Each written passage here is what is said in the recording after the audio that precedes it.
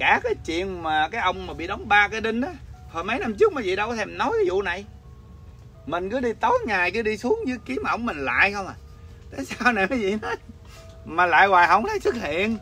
Người ta toàn là mỗi lần nói chuyện á, là nói chuyện với ông thánh Peter nha. Thì à, nói chuyện với à, thánh tử đạo Việt Nam á. Ông Đa Minh Cẩm ông gì mà bên công giáo của người Việt á.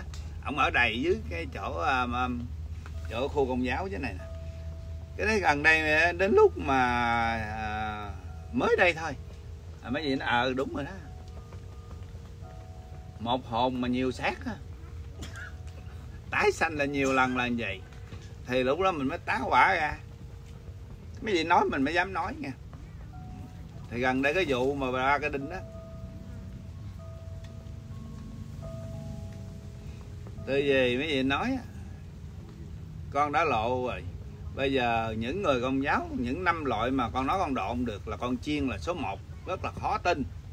Mà hôm nay mà con nói thì qua mai con còn cứu được giờ chót. Và sau này, họ không có được sàng lọc, họ con đã giữ lời hứa của tiền kiếp.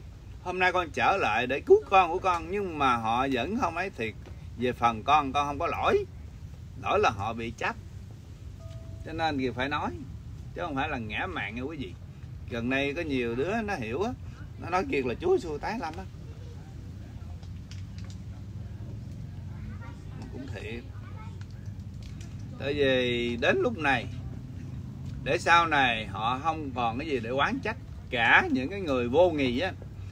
Những cái người mà thượng thiên chống lại với cha mà còn ăn trên ngồi rồi trên đầu dân đen á, ở Việt Nam á, sau này họ có bị mất xác mất hồn, bị đọa địa ngục và đồng thời á, bị dân chúng ruồng bỏ. Dùng chữ ruồng bỏ thôi mà không biết bỏ kiểu nào nghe. Chết thì chắc không cho chết. Mà sống chắc cũng không để cho sống. Thì cũng đừng có trách là trời ơi sao mà đối xử với tôi tệ trời đã ra 5 năm trên mạng rồi không có tệ với chúng sanh đâu.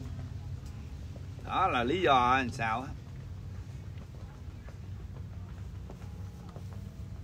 thì chúng sanh siêu ngu vô minh nó là siêu ngu.